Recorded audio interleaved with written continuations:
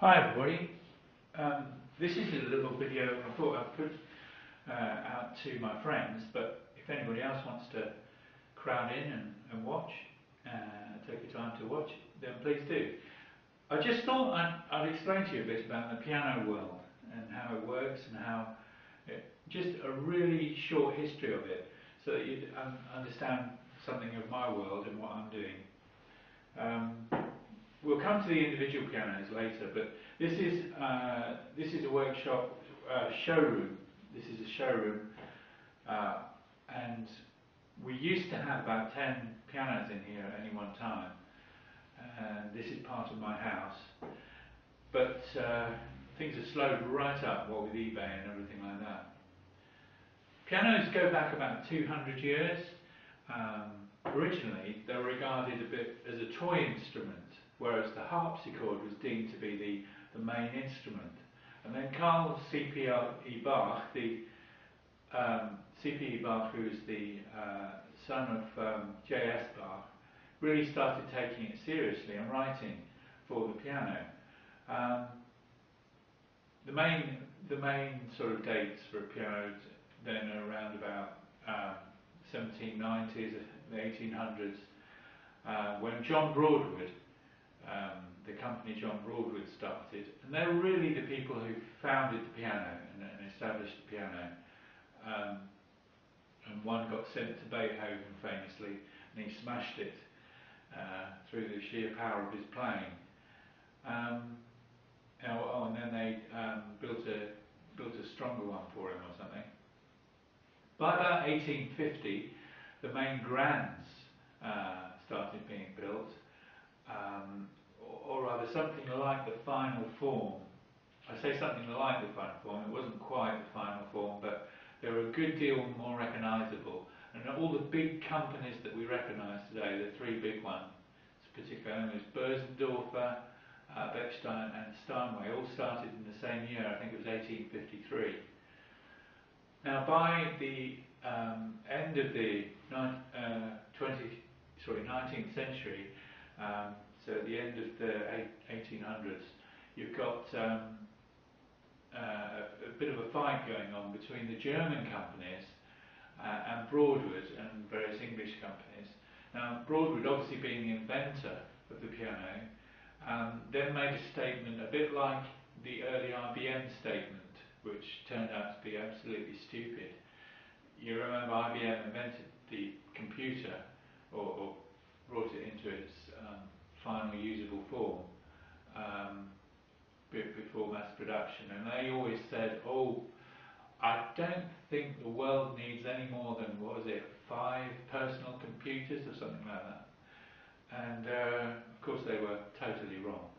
And Broadwood made a complete uh, stupid statement like that. They said, uh, because we invented the piano, uh, we know they are made entirely of wood and the Germans, of course, had long since found that stability of tuning is only gained if you have a metal, a really strong metal iron frame. And uh, the rest was history, really. Broadwood faded into the background at this point, um, and the Germans took over. And the Germans then went on to uh, pioneer the modern piano in its and you're looking at one right now. This was made about the time of the changeover. So at the time this was made, which would be in the 1890s, you've still got the amazing uh, ornate way it was built, and I'll show you the outsides in a bit. But you've got um, the modern type of innards, which isn't overstrung. That, that means that the strings actually cross over one another here and that gives you greater length for the bass strings. It's the bass strings that need that length. And in, in fact, in many uprights, the bass strings are longer than in grand pianos, in the baby grand pianos. So you get a richer tone in some of the uprights than you do in some of the baby grand pianos. The other thing is, um, these are hammers, obviously, they, they bang the strings, make the noise, and underneath, you can't see from where you are, but underneath are the dampers. The dampers. Now, it's a lot better dampening a string after it's played halfway down the string than at the edge. But in England, having invented the piano this way, we carried on for many years putting the dampers right at the edge of the string at the top of the piano, which never was as effective. The other thing with the underdampers, as we call them, is they're sprung loaded. So that's why all the thing, you know, in the last few years, we, see, we had a surfeit of these other type of pianos, which were lower cost to build and lower cost to churn out, between 1910 and 1920. Uh, we're still living with the legacy of some of them, some of them today, although most of them have now been thrown away. Um, but when I started piano tuning in the 1980s, a huge number of pianos that I was tuning were still these old, inferior build quality pianos.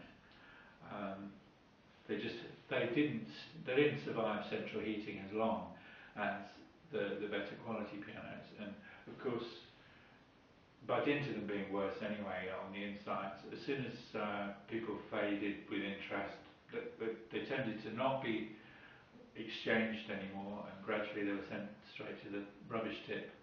So now we have quite a few of these, uh, up to about 1920s.